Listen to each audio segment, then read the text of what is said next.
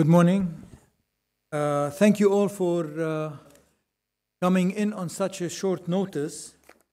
But uh, we had this word tickle into IFI from an anonymous source from the Ministry of Environment, uh, whose name starts with Berj Hatjian.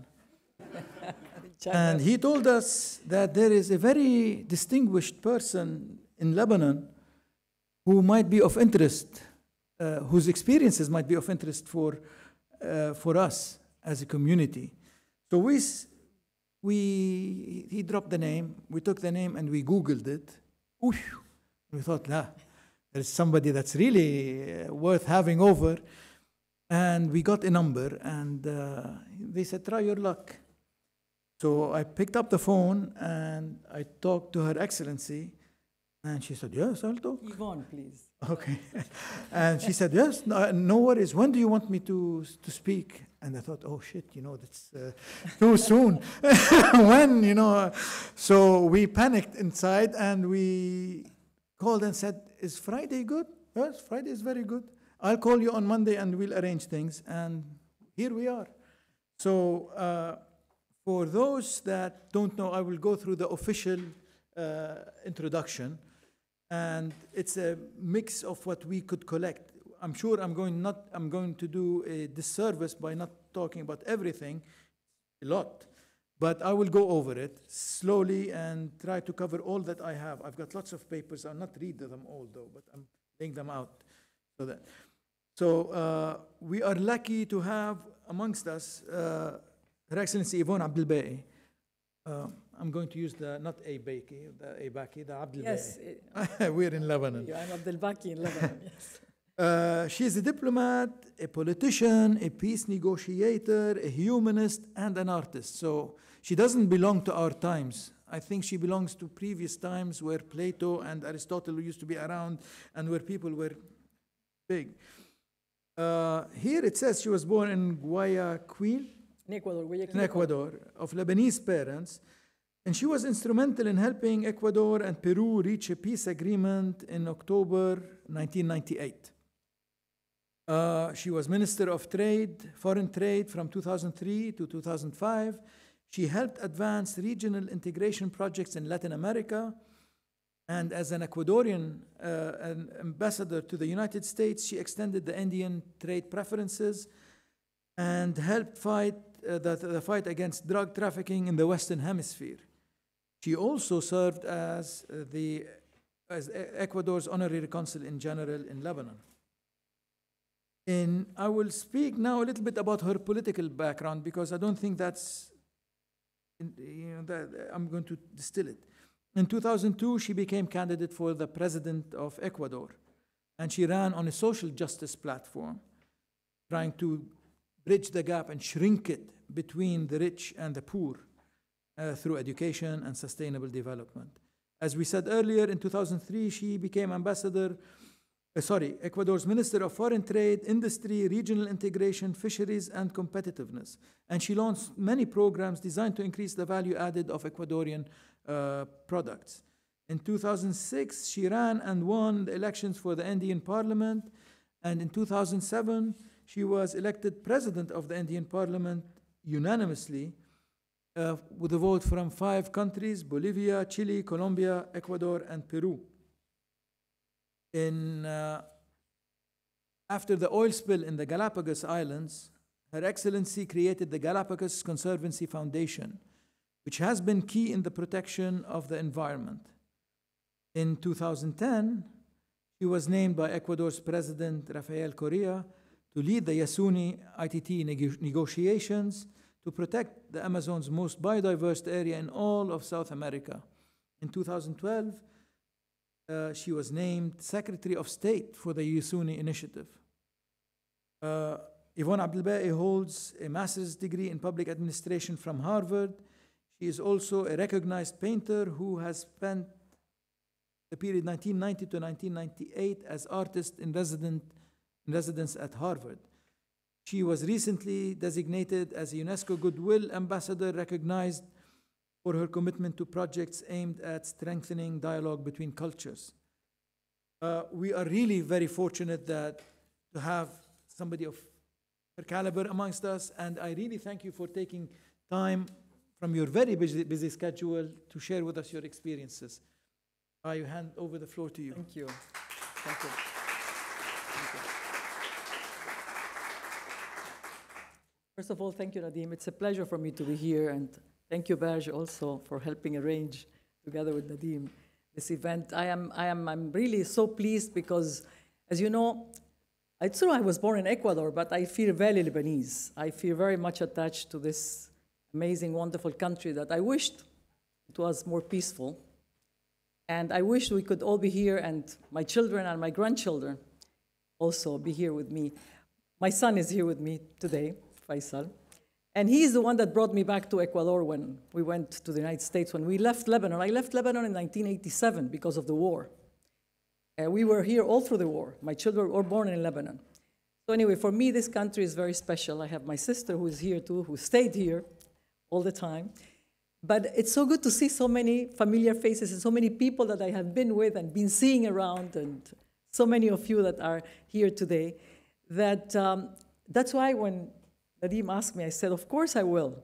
No matter what I have, I would love very much to come back." And I haven't been in the campus of AUB since 27 years. It's the first time I come to Lebanon after 27 years to stay for a little while. I used to come political official visits for one day, two days, but this is the first time I stay a little longer. So it's, I want to say something that I was telling him. Um, the project Yasuni that we're going to speak about today, it's, it was very much into my heart. You can't believe this place what it is. It's a unique place in the world. It's in the Amazon of Ecuador, but it's unique for what it is. And I haven't spoken about it since a year. And I didn't want to talk about it anymore because it was stopped they are going to take the oil underground. It had to be done, uh, and I will explain the reasons afterwards. But let me tell you the story of what it is and why this place is so unique and why we were fighting so hard to keep it. Not for Ecuador, it was a gift of Ecuador to the world. You know, Ecuador is a small country. Of course, it's bigger than, than Lebanon, but the Yasuni project, the Yasuni, it's the size of Lebanon 10,000 square kilometers, 10,500 square kilometers. Um, but Ecuador is a very peaceful country. It's a very unique country that believes in people and believes in the environment. And always it has been having protected areas. But when the president of Ecuador, the new president, President Rafael Correa, came into office in 2007, the decision was to keep this place untouched. And it was done in a very unique way of how it was done. It was done in a way that um, it's true that we need the money because it's a developing country that needs for education, for health, for infrastructure, you name it. But we believe first and foremost in the people. And climate change is an issue. And we're hearing all the time that what's going to regulate climate change is the Amazon. And if, as you know, the Amazon of Brazil, Colombia, Peru, including Ecuador, it's where the oil is, so they are taking it. So they're cutting the, the, the, the forest. So we decided that this place, Yasuni, which is unique, and you will see a small video that will know why, and then we'll talk about that, why it is so unique and why it had to be kept. If you can start with the video first, please.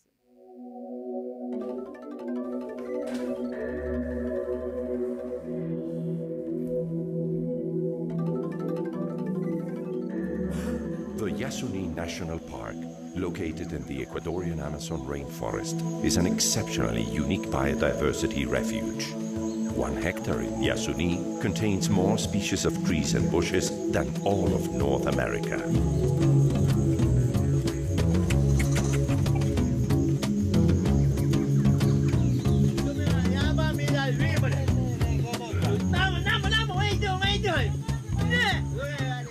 Isolated indigenous tribes the Tagaeri and Taromenane inhabit, together with the Waorani, the Yasuni National Park.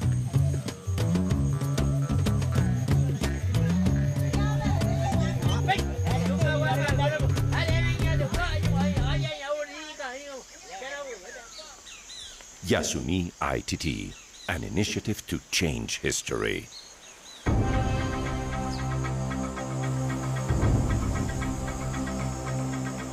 Ecuador has proposed to the world an innovative plan in order to confront the challenge posed by climate change to the future of mankind. Ecuador proposes to leave beneath the Yasuni National Park the 846 million barrels of oil that are within the ITT block.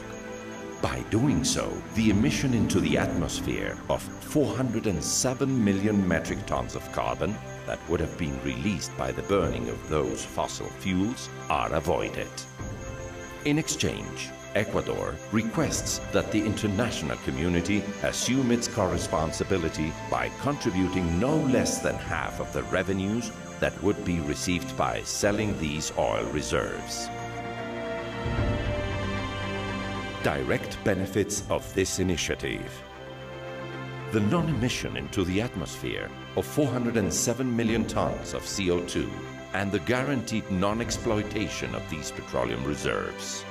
The conservation of the immense biological richness within the Yasuni National Park, declared by UNESCO as a biosphere reserve, along with the conservation of 39 additional national parks, adding up to the most biologically diverse reserve on the planet.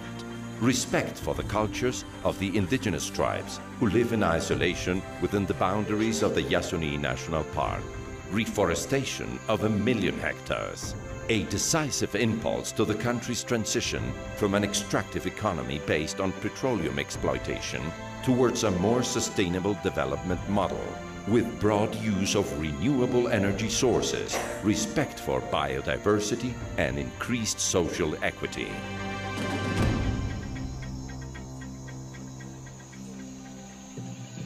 The Yasuni ITT Fund the CGY's Certificates of Guarantee Yasuni ITT. The Certificate of Guarantee Yasuni ITT will become a financial instrument issued to the initiative's contributors and donors by the Ecuadorian state. It will serve as a guarantee that all the oil reserves that are now underground will remain there permanently. It is a non-interest accruing instrument with no maturity date, given its permanent nature. It could only be redeemed if the Ecuadorian government were to order the exploitation of oil within the ITT fields. All income generated by the international sales of the CGYs will be deposited in an international trust fund managed by the United Nations Development Programme. What investments will be made with the Yasuni ITT fund? Effective conservation and prevented deforestation of 40 protected areas of Ecuador. Reforestation, forestation, natural regeneration and effective management of 1 million hectares of forests. The expansion of the actual renewable energy generation in Ecuador, taking advantage of its enormous resource potential in hydroelectric, geothermal and solar power. Improved social development of areas of influence of the Yasuni ITT initiative projects. Who is supporting the Yasuni ITT project?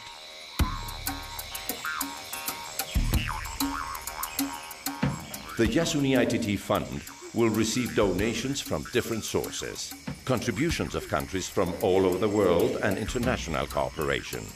Responsible corporations concerned with the future of mankind, philanthropists worried about the possible consequences of climate change, small donors and global citizens who would access our website.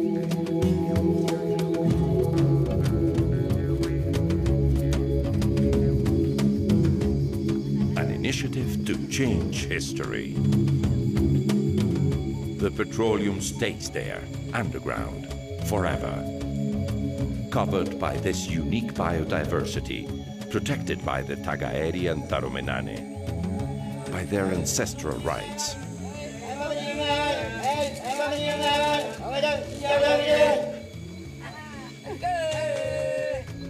By nature's harmony.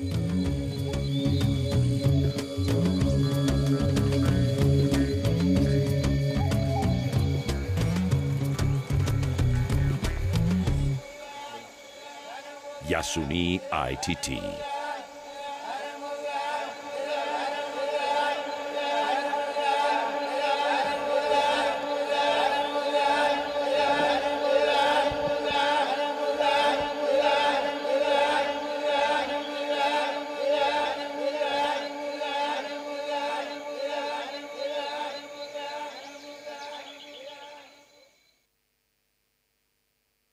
So so the question that everybody, wherever I spoke about it, they will ask, but why? Why, if the whole of Amazon is so unique, why is it that this place specifically has never been touched by climate change? And the, the reason is because of its position. The Yasuni, this million hectares, is just in the intersection of the Andes Mountains and the equatorial line. And because of being in that specific st strategic uh, intersection, it's a little higher than the rest of the Amazon. So when there was the last ice age, 12,000 years ago, the whole Amazon became a savanna, except the Yasuni. This place stayed intact, and all the animals from the rest of the Amazon came to the Yasuni. That's why we have prehistoric animals in the Yasuni. And we have trees that have never been touched because it never was affected by climate change. We have, as you saw, two indigenous communities in voluntary isolation. They are the Guaranis, the Tagaeres, and Taromenanis that live there. And they are, you cannot know they are, they are, they are, they are around the area, but they live there. So this place is really unique. And that's why when the president of Ecuador took office, he made this presentation about what to do as an initiative to Yasuni ITT. The ITT is means Ispingo, Tambococha, Tiputini. It's the fields, the oil fields that are underground, that are, uh, that's why you see ITT. It's Ispingo, Tambococha, Tiputini. Those are the ones that are not going to be touched because we have oil all over. But 20% of the oil of Ecuador is underneath the Yasuni.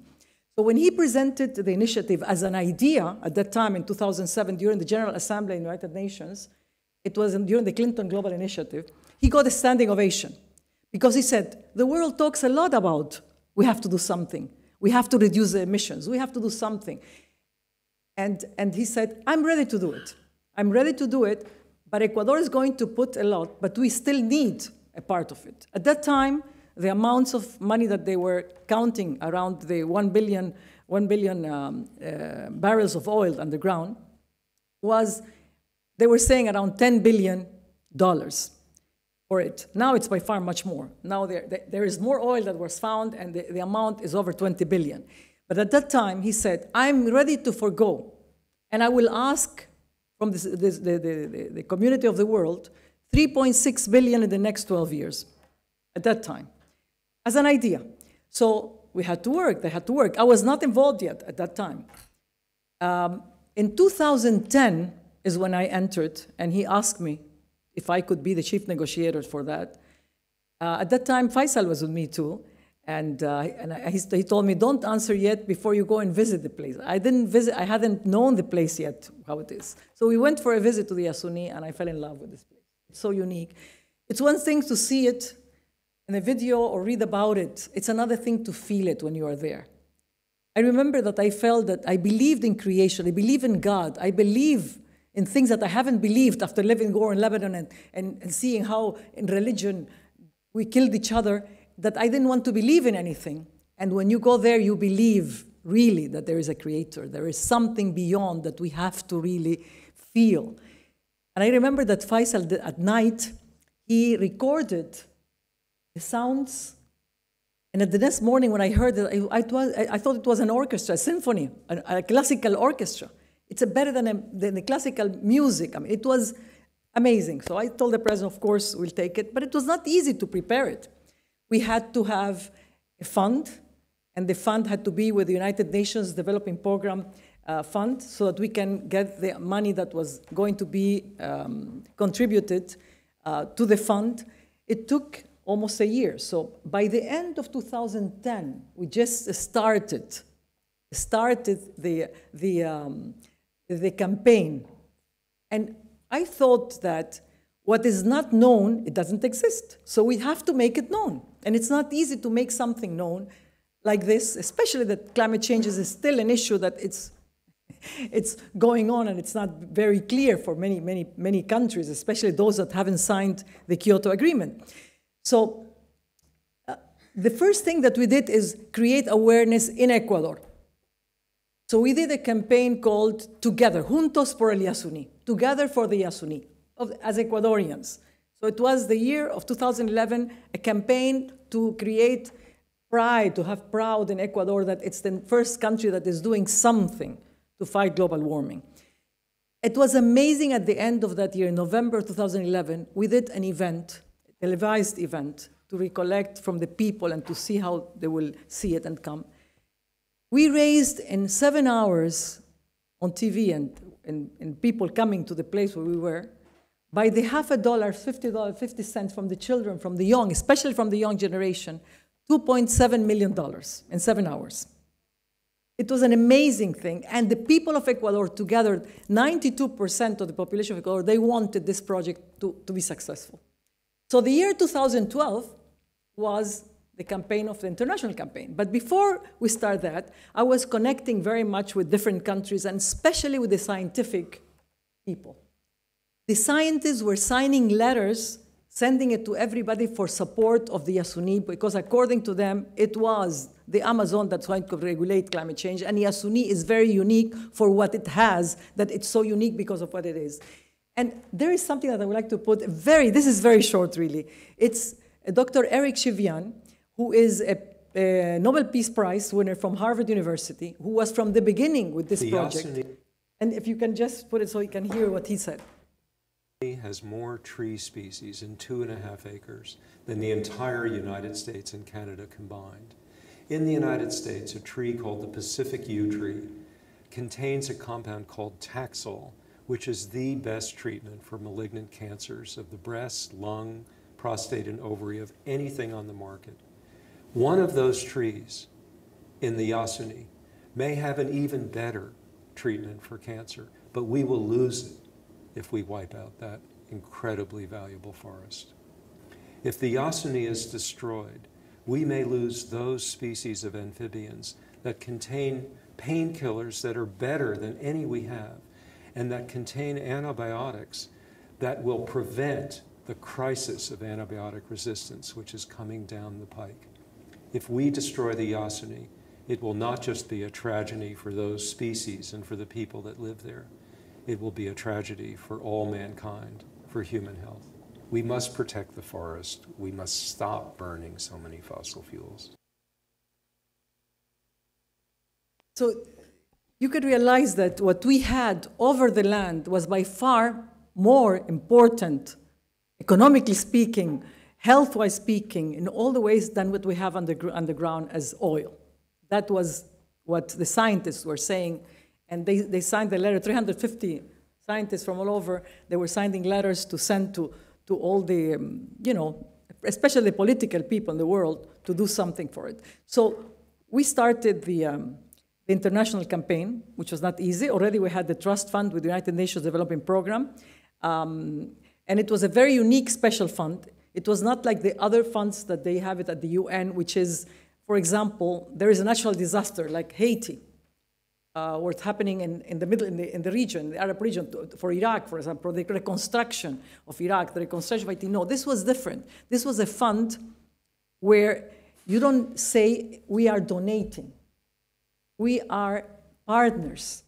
They even changed the name. United, United Nations Development Program, it, was, it's the, United, the Partners Program. It was the partnership program. We were partnering with countries to for the fund. So it was very successful in a way. Um, the, the success that we had in that respect was mostly in Europe. Countries like Italy, for example, they gave 50 million. It's true that it was a, a, it was a swap, exchange of foreign debt that we had towards the Yasuni. The debt was forget, forgotten. Then Germany was another of the countries that they gave us 50 million. So we raised around 350 million during those times. But the aim was much more, and the needs were much more, and the money that came from people, just regular people and sometimes anonymous people, was amazing. It went all to the, to the, to the trust fund. And we will give a certificate of guarantee over $50,000, whoever gave over $50,000, a certificate of guarantee of return if the oil is taken out. So what I was mentioning is that the campaign that we were doing was the international campaign, and that campaign was called I Am Yasuni. It's creating a connection with every single individual. that is part of the Yasuni. That this is not for Ecuador, it's for the world, it's for the young, it's for those that really believe that it, they have to live in a better world, and who are better than the young generation believe that because it's, it's, it's for them. I mean, we are, we, are, we, are, we, are, we are literally lived in a world that's contaminated, but now it's impossible in 20 years for our future generations to live in a world that it's, it's uh, completely not livable, if you want to say this way. Anyway, um, the campaign was, was, was successful in those respects. For example, in France, though the government did not give us yet at that moment, there was a group that was created called Viva Yasuni. And it was from the civil society and from the different um, regions of France.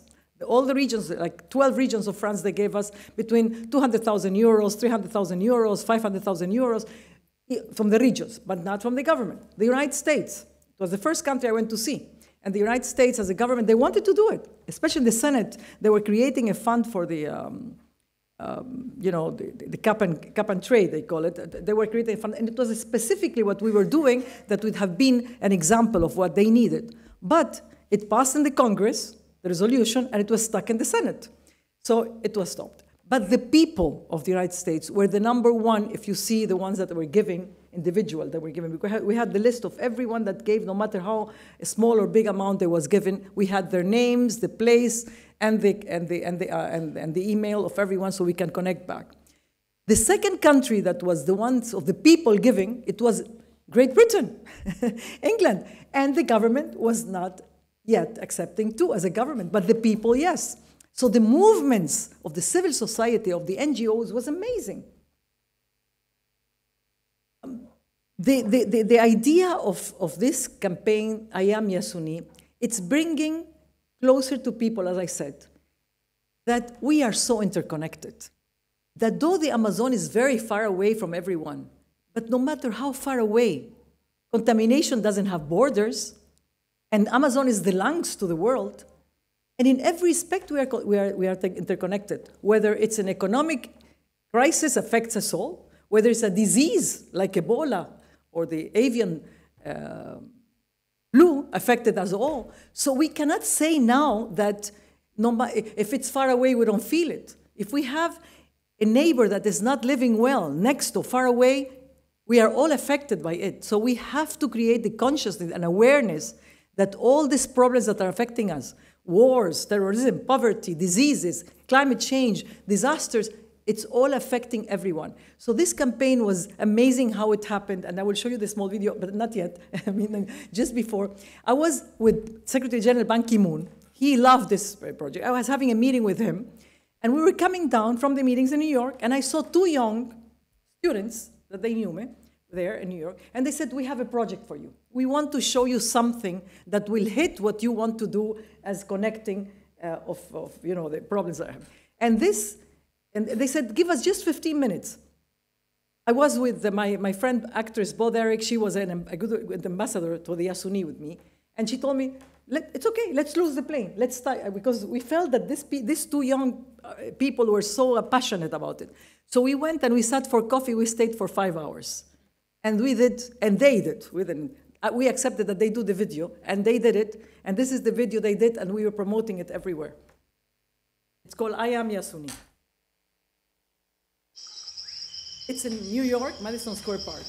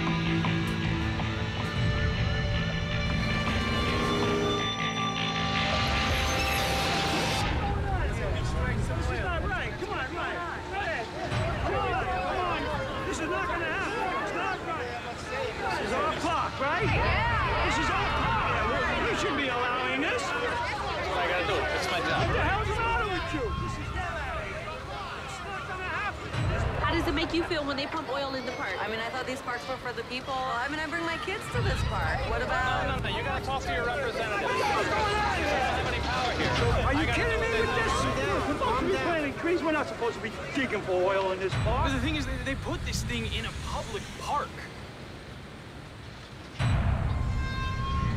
Officer, this is totally unacceptable. You understand now, right? Is there anything we can do about this? They're entitled to. They have a permit. There's nothing we can do. Nothing?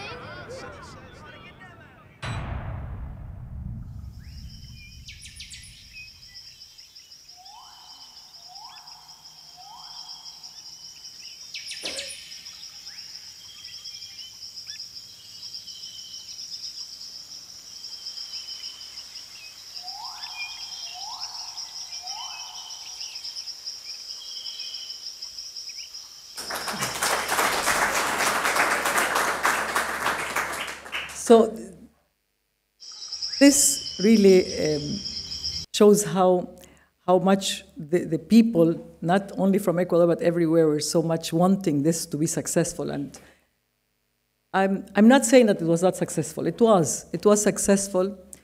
Um, but we couldn't keep it longer.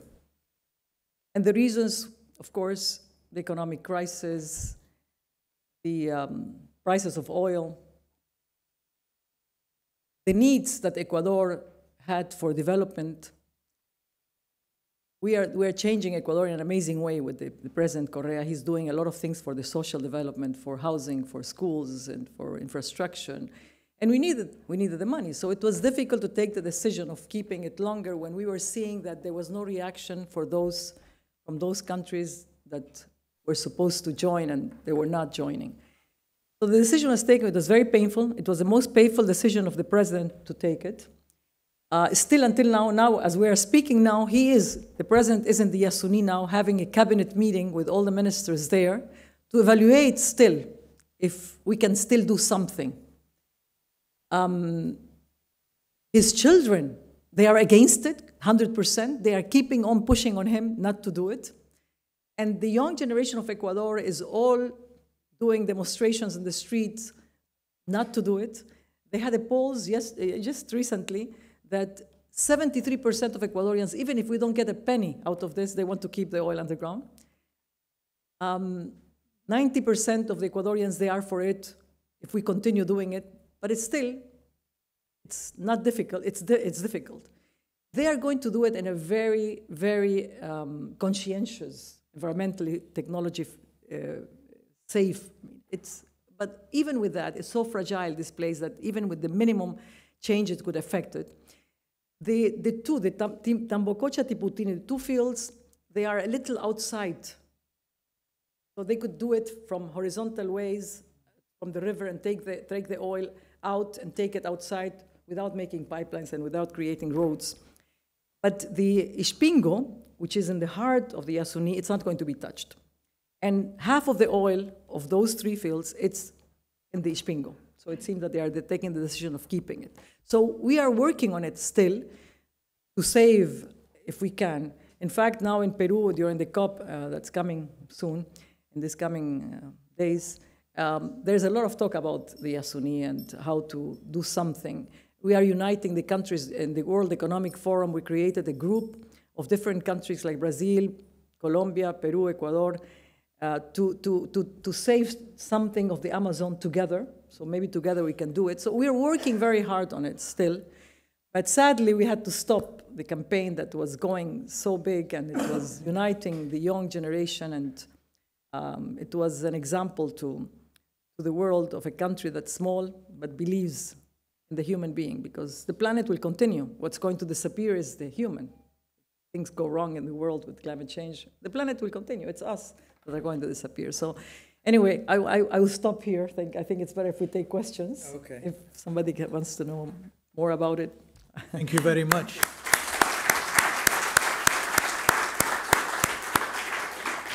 Uh, we have microphones roving around, and we would like to start with the questions first. Your Excellency Adel Artas, please start. Well, thank you very much. Uh, I really congratulate you for this uh, initiative, which is really uh, very good. Uh, but uh, I have a question for the future.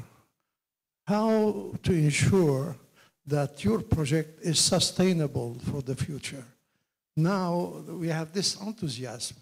The conditions of the Ecuadorian economy will permit you, will help you to do it and also the generosity coming from outside, from the United States of America, from Europe, etc., will help you to do it. But are you sure that in the future, where it will be more pressure on the Ecuadorian economy to do otherwise, to go for the drilling, how, how to make sure about that? No, Thank no, you. I, that's, thank you, Excellency. No, I mentioned, I mentioned we are not going to continue doing it. We can't. That's what I'm saying. We have stopped the project. They are going to drill in the fields of Ishping, uh, Tambococha Tiputin, so we can't. You're absolutely right. It's going to be very difficult to continue having the prices as we have at that time, 100 over plus, and also finding out that there was by far more oil than the billion barrels that we thought there is. So it's not going to continue. What we are trying to, to see if we can keep at least the one that's in the middle of the heart of the Yasuní that will affect not only the, um, the surroundings, but also the two communities that live there in voluntary isolation that are in this uh, part of the heart. So yeah, it's very difficult. But one thing that I didn't mention is that the money that was given um, for the project that we had to return, we had to return to those that gave the money over 50,000. And those that gave it in smaller amounts and they are united and they know how much and we have the names, we will return it back. And we did. We have returned almost everything. But there are many, many, and the majority, they don't want it returned. Like Germany said, no, we want to keep it so you can help the 40 um, protected areas of Ecuador for the environment. To keep it, um, in, in, to use the best technologies to do it the right way. So they kept, they kept the 50 million. Italy, the same thing. They, they wanted to keep it, and so many others. Luxembourg, uh, name it, Australia.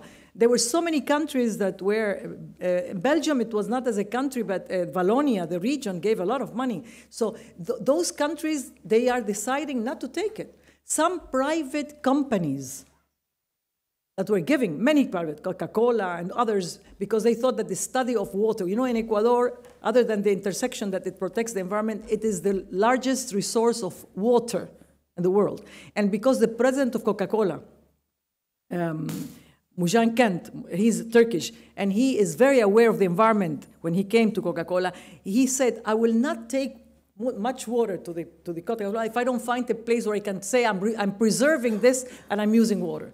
So he was making a study, and they put over 5 million for the studies of how is it that we have so much water and we're going to protect it. So the money they gave, and they make a big campaign, and they help us in the campaign that we were doing, they are going to keep it. So what I'm saying is that this is not going to continue. The project, that's why I'm sad. The project had to be stopped. Yeah. Back. Um, sorry, I have the microphone. Um, my question is, um, why weren't you successful uh, with regional bodies instead of individual countries? Did you approach, for example, the European Union or other regional bodies to adopt this project and to put it on their agenda and, pro- and probably enforce it on the country members, rather than you know uh, approach Britain directly or uh, individual countries? And the second question I have, quick, is um, you're focusing too much on oil versus uh, sustainability or environment. Why didn't you investigate in a more positive manner, for example, the pharmaceutical benefits of keeping it and even exploring and exploiting it? So did you, did you go into this direction of seeing what benefits you can get from Yasuni rather than just you know, oil versus preserving it as it is? It's a very good question. I'll start with the last one. Yeah, you're right about the issue of the oil. We were. That's what one of the things that uh, Eric Chivian, Professor Chivian, was saying. Don't focus on the oil. Focus on the things that are more important. And even if the technology in 10 years will be so unique that you can just not destroy anything and, and- also take oil. We were working on that too. I mean, it's not that we took it out. And in fact, now there is a new university that's next to the Yasuni that is going to be for investigation, for investigation on the scientific level. And from Yale University, there was a, a group of students with the professors that came just uh, a few months ago, and they discovered a, a, a fungus that dissolves plastic. Could you imagine how much money it is that if they put it into practice, and it's going to happen. So the, the, the investigation part and the, on, on the, on the super, on what we have over the land there, it's by far more, and we are seeing to it. But that, that takes time. And in the meantime, they want to take some of the oil, which we're still talking about, that are, uh, is in the region that it's not going to destroy the biodiversity that we are investigating. So it, we're playing two, two, two ways. The other thing that you mentioned about the countries, we, it was, it was difficult to unite all the countries together to help. That was the aim. We could unite the civil society, the NGOs, the groups, yes. But the countries, let me tell you what the Minister of Economy of Germany told me. He was against it. It was the parliament that fought and obliged the ministry to, to, to give the money.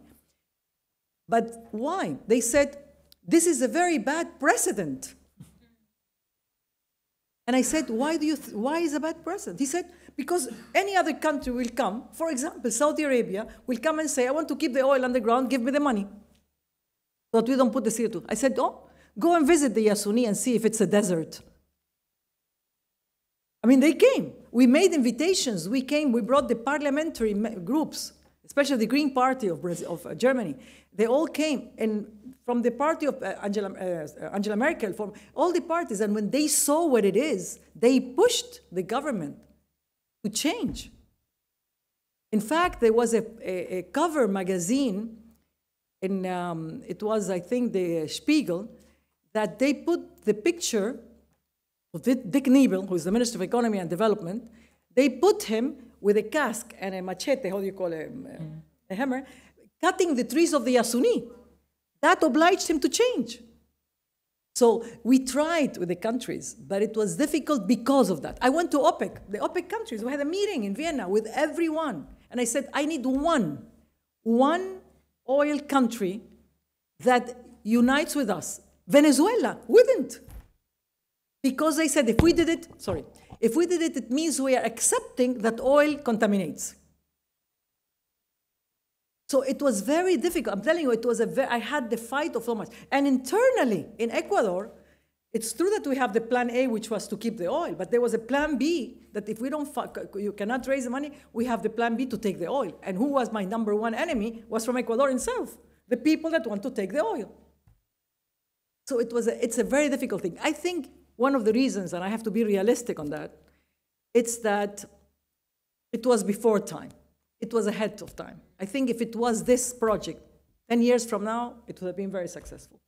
It's still too new to be accepted. Sadly. Your Excellency, uh, thank you so much for this inspiring talk. It's disappointing to see that the government of powerful countries uh, disappointed and did not really help. I mean, they always talk big about climate change, but they never walk the talk. Now, our common friend here sent me the, your uh, talk with TEDx, and the first thing I thought is that, how come I didn't know about this? I work in the conservation field, and I never heard about, I knew about Yasuni, but I had never heard about the initiative. And my second, uh, the second thing is I, I thought about is that, how can I help? Is it too late? So I guess my first question is that, is it too late? Can we still do something about it? And my second question is, what are the lessons learned from it? How can we still benefit from your experience? Because in Lebanon and in the region, we need to lobby a lot about forest conservation, marine conservation, climate change, and so on. So anything you can share with us from your lesson learned? Thank you. No, really, uh, I, I, spoke at TEDx. It was at Harlem TEDx in New York and in Washington. I didn't speak in the TEDx here. In, I was, um, as I told you, it's the first time I'm coming and stay a little longer here. But I came to Lebanon for the for the for the project. I came to Lebanon. I met with the Minister of at that time. It was in 2012, maybe. Yeah, and uh, there is always the goodwill of of trying to help. But you know the mistake I did, and I'm telling you the mistake I did in Lebanon. I didn't speak with the students. every country I went, the, the best part for me, it was when I went to the universities and the colleges and the students. And, and I'll give you an example. When you just started, I went to a school in Columbia Heights in Washington. Students uh, from the ages of uh, a school, from ages of 5 to 18. And I was talking about it, that we need the support, and that's what we did in Ecuador, about the, how the people were giving small amounts. You know, at the end of the talk, first of all, they knew about it because they had read about it, this, the, the, those that were 15 years and so on. At the end, it had raised, they were like three, 400 people. They raised $400. Each gave $1. So we started the campaign of the dollar with the students. It was fantastic. So, yeah, you're right about it. What can we do still? I, I hope I could, I could. Faisal says that we can still move the people and the world to, to, to, to start talking. They are. They are moving in, a, in an incredible way. But the thing is that, as I said, internally in Ecuador, we have the other group that doesn't want it to happen. So it's difficult for me, being from Ecuador and representing the government still, to, to, uh, to, to, to go against it. If I do that, it means I'm working against what they want to do. So it's difficult. Just if you can still talk about the best example to the world for this is was Yasuni, it will be enough. It will be great. It will be great if you can still talk about it because everybody's talking about it still. Why you didn't hear it here? Because in Lebanon, when I came, it was not publicized. I don't know why. Maybe also they don't believe in it. when I was in Qatar for the COP, uh, two years ago, was it? Two years ago. It was very good. And I met with everybody. Abdallah Al-Atiyah, he is Excellency Abdallah Al-Atiyah, he was in charge of it. And he's a very good friend of mine. And he told me, Ivonne, I'm ready to give. But what if I give you the 50 million or 100 million, whatever you want or more, it means I'm accepting that oil contaminates and we're still oil countries. So it's, it's, it's, it's very tough. It's very tough. It was very tough. And they were ready to give. When we were at Rio Plus 20, the president of Ecuador, he, we made a panel with the best scientists, politicians, everything. It was the best one in Rio. And Abdallah Atiyah came. He was there because of Qatar. I invited from all the Arab countries just to hear about it. When we finished, he took me aside and he said, It's fantastic. It's great what you were saying. That, that's very good. Let's work on that and let's hope if we can do something. And he was ready to do it. But then when he goes to his people, they say, if we do, the, do it first, what would they say about us? It's still a dilemma from, for oil. Everybody thinks still that oil is necessary. In Ecuador, we are moving towards a renewable energy. We have now eight hydroelectric energy powers built. And in maybe 2020 will be 90% completely, completely alternative energy. The Galapagos Islands, which is also a conserve, and I love the Galapagos, it's a beautiful place. It's completely alternative energy. Solar, hydro, and geothermal, we have a lot of mountains there. And so air, we have air also in some regions. So we are making it an example. But it's difficult for a developing country like Ecuador, that is still is developing, to just completely say we cannot, we don't want to take the oil out when others are doing it. In fact, in Peru, it's our border with Peru. In the south, the Yasuni, it's in the eastern south, south. So it's with borders with Peru. Peru is taking our oil already. Like here, I think, I'm sure they are taking it with the oil you found in the, in the Mediterranean. I'm sure they are taking it from another place from Israel. From Israel. from Israel, I'm sure. So the same thing was happening from the side of Peru. If we are not united together to, to face this, it's difficult to happen. We have to unite. And it's you, the young generation, that are going to make it.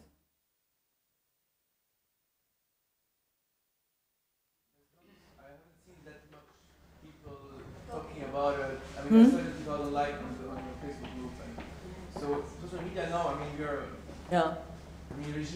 Well, there were so many. I mean, even Leonardo DiCaprio was was sending messages to everybody to not to let it happen, and all the actors they united. But maybe I don't know. You have to go into a specific, uh, I don't know, group age a group. Yeah. So it was. We we tried. We tried. But as I said, I cannot make it because it's internally in Ecuador. It's going against the decision that was made. So it's up to you if you can still put it as an example. By the word, the, the, I told you that the word um, Yasuni means sacred land. And the indigenous are still moving, uh, indigenous communities all over, they are uniting to, to, to do something too. Uh, we've got uh, Dr. Sakhan, Dr. Saliba, and Dr. Hatjian, and then we move back. Oh, you've got the mic already. Very, very Okay, quick. Dr. very- Sakhan, and then Yes. and then we move down. I'm just uh, worried about this area. Is it well mapped in terms of fauna and flora? It's what? Is it well mapped? Uh, Are all the fauna and flora classified in this area? Yeah, they are. They are. If you can enter, you have the four groups. It's the only place. If you go to the maps and you see the red stop spots, there are only five places in the world that have the four groups like we have in the Yasuni. So you have you have the list of all the fauna and flora because you've mentioned now that we might be losing a species that can break No, no, down We have plastic. everything. If you go into the uh, specific uh, place, uh, place in the internet. Yeah, and what about? Wait, let Faisal knows more about it. Okay. So they're not mapped yet. So Ah, this they are is not known. I thought that they are. That, No, that no. We didn't mention it here. I know there are so many that are not known. So, so it's going to be a great loss. And I would like to tell you that in Lebanon, we're about to lose a similar site in Jinni because they're about to build a dam there.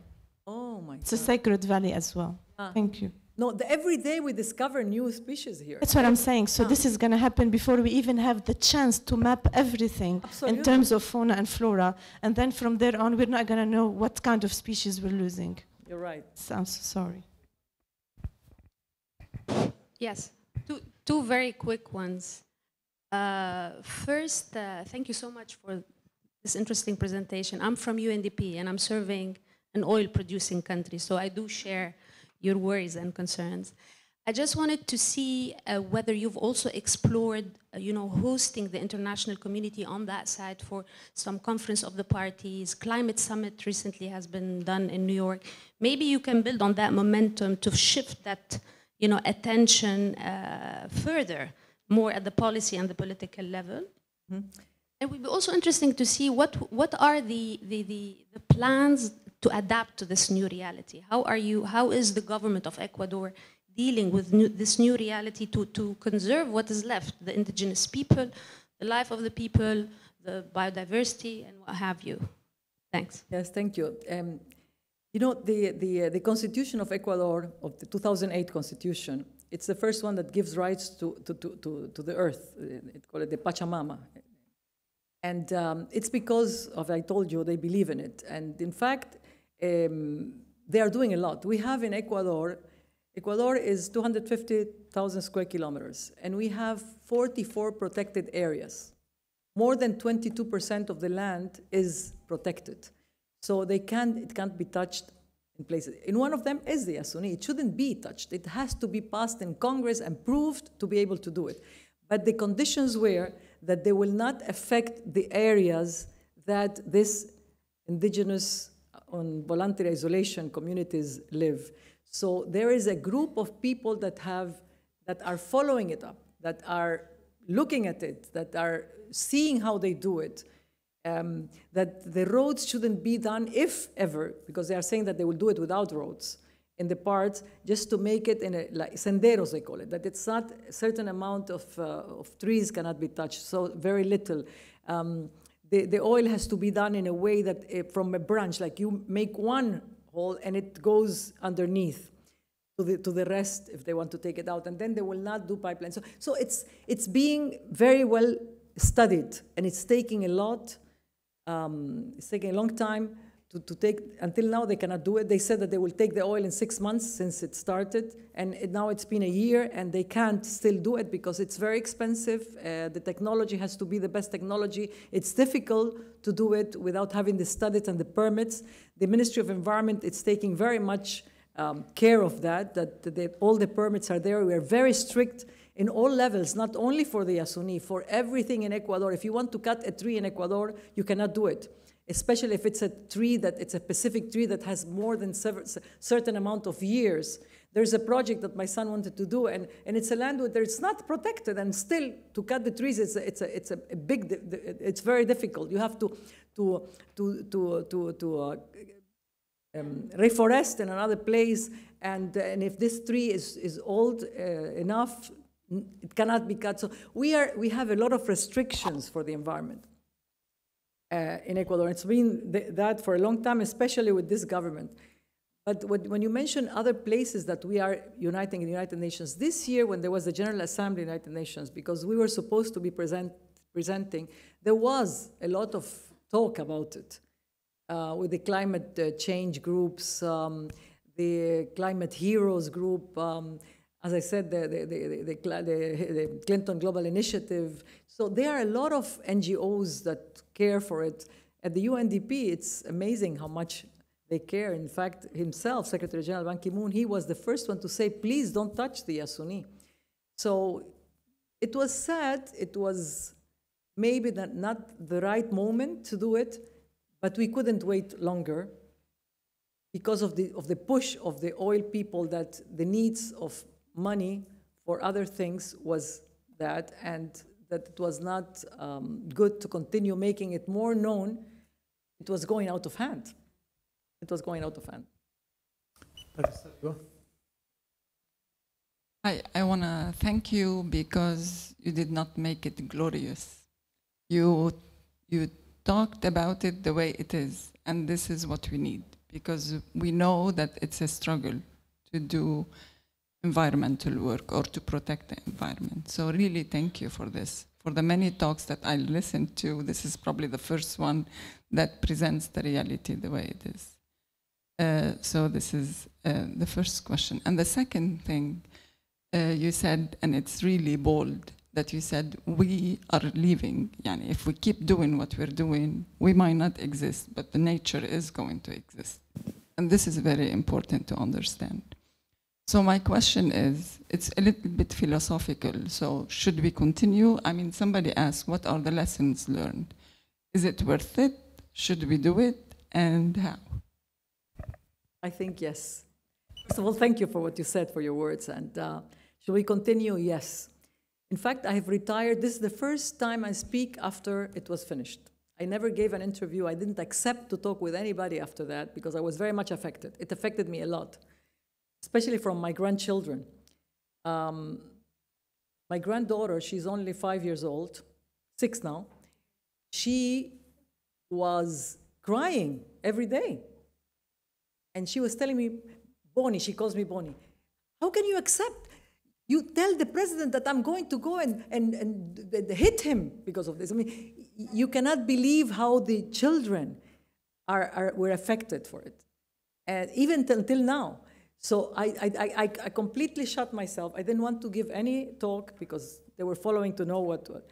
Um, if we have to continue, yes. Yes. The present and the future generations, they need us, mothers, to, to, to it's Mother Earth, they call it. We are the ones that know the importance. I'm not talking about against men, on the contrary. I'm just saying that we know the value of the human. I don't think a mother will kill her son with a gun or children, because for, for me, all children are our sons and daughters. So we have to do something. And the young generations are the ones that are asking for it. The policymakers are not doing it. That's the problem. The problem is that they just put a blank. And you know why? All it's about money, money, money, money, money. We are living in a capitalist, capitalistic world that the only thing they care about is how much we're going to get and how much we're going to have. And it's because of all this media thinking that, thinking that it's about what is success, it's accumulation of money. So we are becoming a plastic society, pushing a button. We forgot about our values. We don't care about anything. What are we building? Robots? So this is what we have to start thinking. Are we doing it the right way? Maybe we do that because we don't want to think of the dangers. And the easiest way is not to think. But if we sit and, and, and, be realistic, we are living in a very dangerous moment, more wars than ever, more diseases than ever. Economic crisis because of more, more, more, more of the few and less, less, less of the of the those that don't have. I mean, you have to create a, a strong middle class, and and it's not happening, not even in the United States. So what is happening with the climate? One of the reasons that in the Constitution, because they gave the rights of, of, of, the earth, is because the earth doesn't talk. It's a silent movement. I said, no, it talks a lot because the reactions that it's happening and it's happening, the melting of the snow, the, the, the, the, tsunamis, the disasters, it's a shout of the earth. Please do something. We have been, I'm giving you so much. What we are is because of the earth. And we're not doing anything to save it. I mean, there is a, there is a moment that we have to reflect that we don't have to just campaign to get to be president and to get to be the position and to get to have this position and how to keep the position. This is what's happening in this world now. They get to power and they think that if they lose it, they lose. So, in order not to lose, they do anything not to lose. And we are losing everything because of that. So, we have to start being a little more reflective why we are here, what do we want, what is the purpose of us in this moment where we are? And I think the Middle East is a very important area to start. I think that's why they are dividing us so much. And I'm talking as a Lebanese now. And nobody's realizing that we are being used because we have so much wealth, because this is a power that we have here. Imagine when King Faisal of Saudi Arabia stopped the oil for one week, what happened in the world? Okay, he was killed. But we're still more divided than ever. And nobody reflects. I come to Lebanon, that's why I don't come and stay longer, because all the conversations are about the same thing. They talk and talk and talk and talk and say, so what is to be done? We cannot do anything. Okay, Doctor, we've got Dr. Hatjian, Dr. Artas, an important family member, and then back there. Go ahead. Uh, who the enemy is. Excellency, thank you so much for a lovely presentation. Actually, we are doing things. Uh, We have some success stories where we have managed to block greed eating out from Mother Earth. But obviously, you have also so many failures. But you stopped at a point where you said people want to get to positions and they want to maintain these positions and never leave them. In your personal experience, uh, there was so many forces leading this initiative to success or to marginal failures. How much do you think was the role of the president of Ecuador and how much was he a force to move this initiative in the right direction? From a perspective uh, as um, the famous writer who has written the history of political order, Fukuyama says, it's all about the good emperor and the bad emperor. If you happen to have a good emperor in place, things will move in the right direction. How much, from your experience, is the value added of your president in Ecuador in leading this and doing all what is being done? And my second question this is a pure environmental issue. Why was it done with UNDP, not UNEP? That's a very good, very good question, uh, Um, I believed in the president when I took the position. I believed in him. He wanted it to be successful. He wanted it. I don't know if he was surrounded with the right people, the right people. And sometimes when you are in power, you, you are isolated, you know, you are in the position and they don't let the people that could change or could make him realize that what he was, was, was about to be doing was wrong. I had a meeting with him before, of course. We had a meeting and, and everything was supposed to be waiting until 2014, until we will see more clear what was going on. But there was the emergency of the other group that were pushing, pushing, and they wouldn't let anybody in. So he was very sad. In fact, when he was taking the decision, it took him a few days, closed himself, wouldn't do it. He made a national television statement and he almost cried when he was talking. I mean, he was very touched. He said, My most difficult decision ever, not only the presidency, but ever in life, has been this one. And I don't want to do it. And I wish I could still not do it. In fact, a few months ago, he asked me if I could still meet with some people in New York. The N, who said, who asked about the UNEP? Now, yes, to meet with some people there and to meet also with Jeffrey Sachs, who has the Earth Institute. And I went there. And we tried. Because he said, if we can still do something, I will go back. Those, all the people around him, those that don't want, were so mad. I mean, we can't, you cannot. They will call me and say, Ivonne, please, you affect the president so much, don't let this happen. You are going to destroy the country. Because, yes, so it's personal, personal interests. So we met with Jeffrey Sachs, and in fact, with all the group also for the environmental people, also the UN. Um, and, um, and he said, it is, it is, it's possible, let's try. He tried. He tried to get people to see if we can get at least one billion of, you know, it, it was, it's not easy. The economic crisis is one point, but also the the, those groups that they don't want this to be yet a precedent.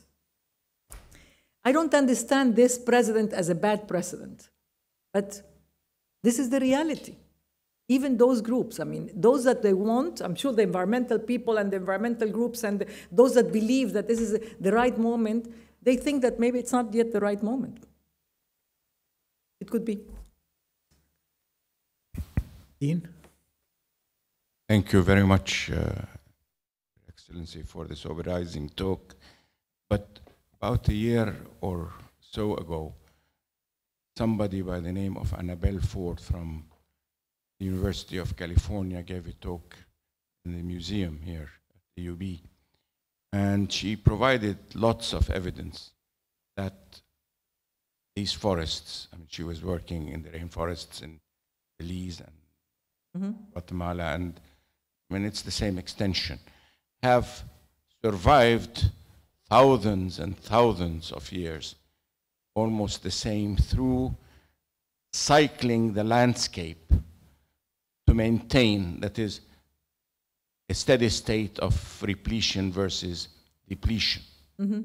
And if you look at, she then showed us other landscapes where either man interfered or others, where resources were taken, that the landscape basically served its purpose for a finite time and died. You mentioned about using alternative energies and using resources from these forests, uh, which are repletable, so that you will learn from the forest's history to maintain the earth. How much research funding and how much research is there that would look into these alternatives in a very serious manner to ultimately, hopefully, counter the argument that an easily obtainable uh, energy source is the best way to go for. So what you, your meaning is the, the, the, research on what we have over the land, over, over the earth, not about the research, the, the oil and the Then the forest, not the oil. I mean, the Thing, alternatives. Yeah, I mean, you the, mentioned drugs, but there are others. I mean, you could, yeah. you could get, uh, you can get fermentations and alcohol production. You can get whatever. Many, many things, I mean, no, known no. and unknown. How much research, the question is how much funding for research into looking into these forests for uh, energy sources? We have, we, have, we have a lot of funds for research. We got a lot of funds for research from Australia, especially, and from, from other countries, from the issues of research, from Canada also. But the thing is that this area, as I said, is very isolated. You can't go inside there. So it's difficult to find what we have. The question was mentioned, uh, you have so many things there that you have never been found because we can't go in. It's difficult to go in on places that are dangerous. In fact, there were many people being killed because of entering in those areas. And when the oil fields started in nearby areas, communities were killed because of that. So, so it's, it's not easy to go inside. We have been doing a lot of research now uh, on the surroundings of it. And we know that there is by far more, by far more that we, we can't know yet. But um, in the issues of research for alternative energy, this is not there. It's, uh, it's, it's, uh, you cannot, for example, you are so talking about to put, uh, to, to, to, to have uh, kinds of plants that you convert into energy. This is, this is other lands. You can't do that on the, on the Amazon. You cannot uh, plant there. I mean, it's, it will destroy what we have. For energy? To get and to tell the countries that, okay, you have so much money coming out of oil, you will have so much money Given to you from- Uh-huh. coming out of this alternative sources. You know what, you're mentioning something that I think I didn't mention. You know what the president always said also? I think that's important. It's, it's, he said something. He said if the Amazon would have been in the West, in their countries, long time ago they would have made us paid for the uh, oxygen that we were giving. So, but oxygen cannot be measured. So yeah, we are selling oxygen. What we were selling, it was not electricity or energy, it's oxygen, which is what's mostly needed clean oxygen. But you, you can't put a price. I mean, there should be a price for oxygen. There should be something that would be measurable of what this primary forest, because reforestation doesn't give the oxygen, but primary forests are the ones that are be able, to, especially in the Amazon, tropical places. Um, so, so yeah, but that's what we were trying to explain to the world. Let's put a price for the oxygen and we will keep the oil underground because this that we're giving to humanity is, it has a price. They wouldn't accept that. It's not measurable. I asked, I had a meeting once with, um, with um, the other uh, uh, economic uh, win, Nobel Prize winner, uh, what's his name, um, Stiglitz, Joseph Stiglitz, who had made a study also of the economic part, the economic part of the of the of what we have there, and and and the air. And he told me, he told me it would be great if we can measure the price of oxygen one day, because the most amount of money will come from our places in the world. I mean, that uh, it's clean, that they are giving it to the world. That's why we said it's a gift to humanity because they are the lungs to the world. And that's why Vandana Shiva also, she's very well known, Vandana Shiva, she's a science, um, an environmentalist. And Al Gore, he said, what's going to what's going to regulate climate change is if we can save the Amazon because of the oxygen. So how can you measure it? That's the problem. If uh, we have one more question, two, I will go for two. But it's uh, what you're saying here is the hypocrisy of Western societies and governments and culture, where things are allowable in one part of the world and they're not. And if the Amazon were a bank, it would have been saved a long time ago.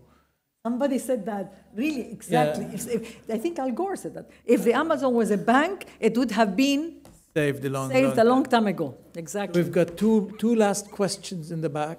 And okay, we'll just go with Ms. Dr. Habib because I cannot say no to her. three questions, that's done. One, two, three, please. You start, please.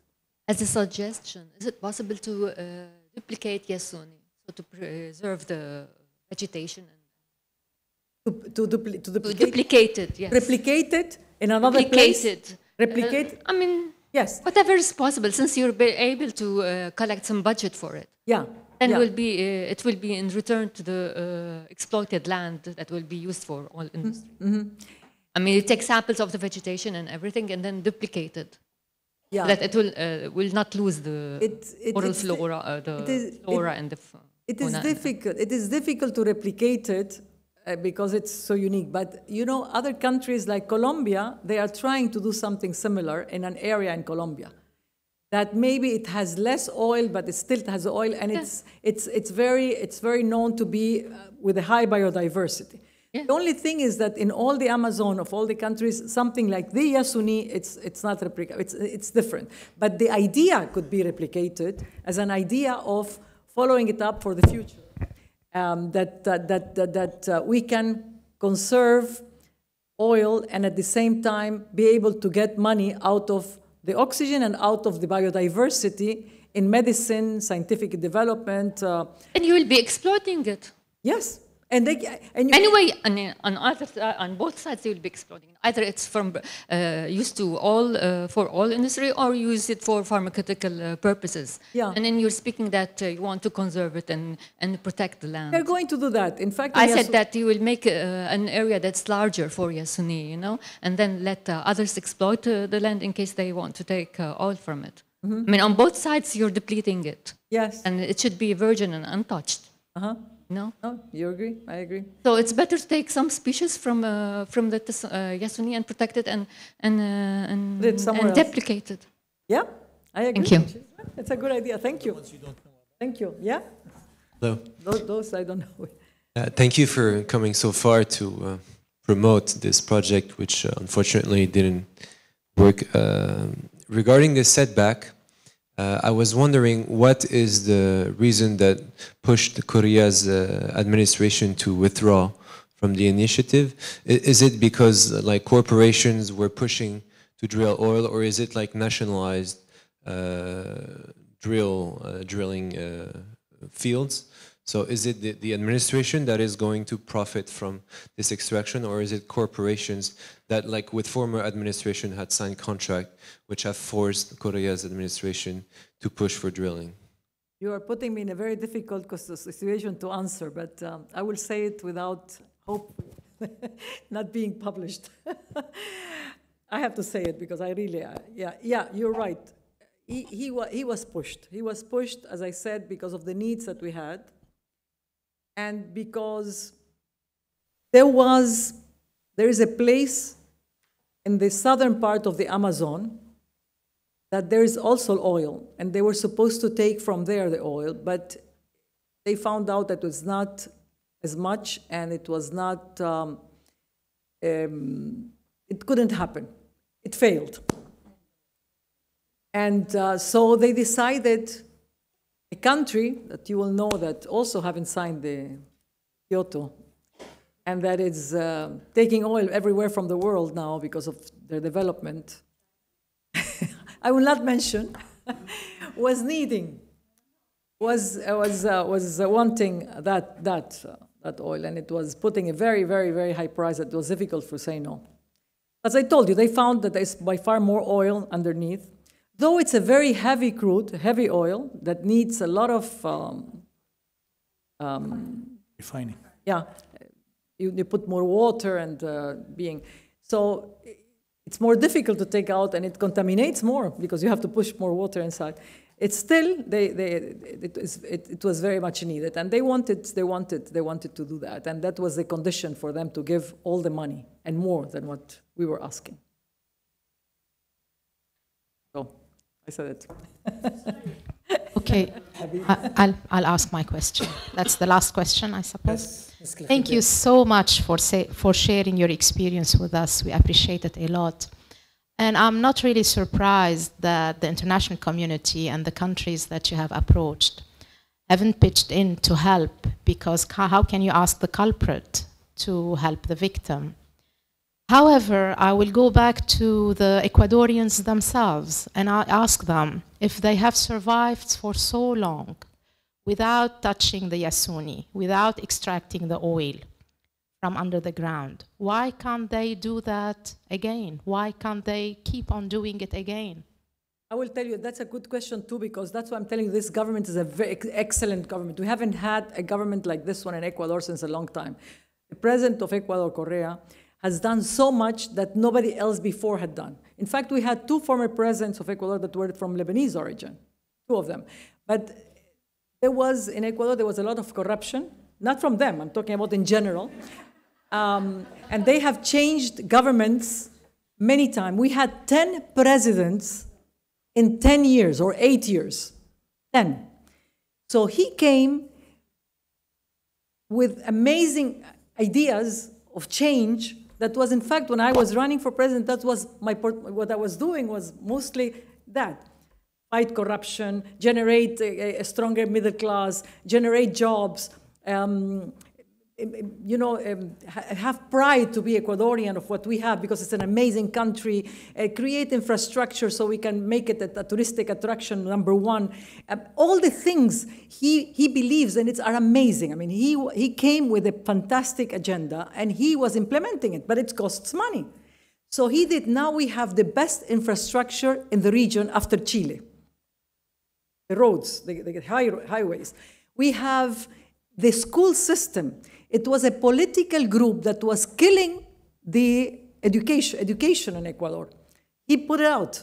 And now education is free for everyone. They have the best schools are the public schools.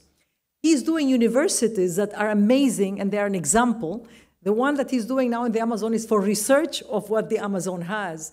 Um, if you go to hospitals, now the system is amazing. We have universal health, and uh, the, the people are, can get, um, name it. I mean, he is revolutionary in change, in positive change. So that's why he needs the money. I mean, it's not because he needs it to, to, to, to, to what they did before, but to invest it in the people and to save.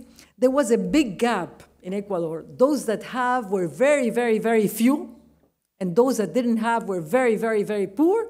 And there was a kind like a slavery for the people, especially the indigenous, that was not accepted in Ecuador. And that's why they were changing the, the presidents all the time. This one is different. And that I have to acknowledge that what, and so what he's doing is fantastic. And that's why it was impossible for me to keep pushing to continue with the project, knowing that the money was needed. Thank you very much. Thank you. Uh, we've got this a good person that wants to say, we can then close down. Yes, That's an important person, I think. Well, I know Very her much, speeches. Ivonne. Uh, to save the environment of Lebanon, I think you have to be the Minister of Environment to work with the General Manager so that you will make miracles.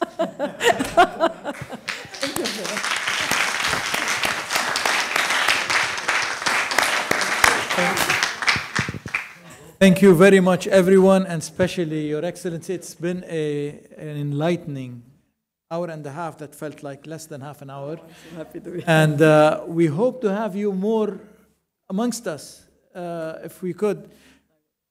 And the Issam Fares Institute team is, will be in Peru, so will you you be there. there? I'm coming. And we would like to have you uh, visit our side event. Of course. What, what day are you? I'm December 6th, we have our side event. For all that don't know, we have a side event that we're organizing with the help from the Ministry of Environment and uh, Sao Paulo University. And we would love to have you amongst us again there. Let me see if I can stay until it's. I have to leave. I'm going to a special event that it's before, so I have to leave on the third. I have to be in Washington. But if I can, if I can, I will promise. I will be there Excellent. for sure. Thank you so It will be much for pleasure me, and thank you so much. Thank you.